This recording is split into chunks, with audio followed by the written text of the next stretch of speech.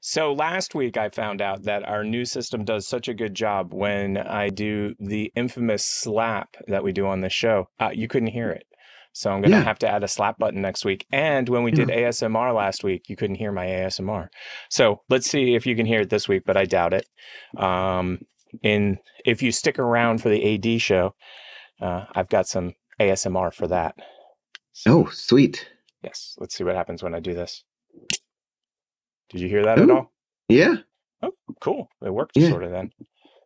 it works sorta. Um, Kind of. since I'm running late, I did I did get get these, and they say three times bigger.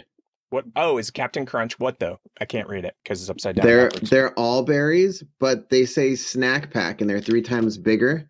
And I Oh. also have so so big Captain balls is what you're saying. So big balls. You know, keep keep with the theme of the show. So when I get hungry, I'll eat some big balls.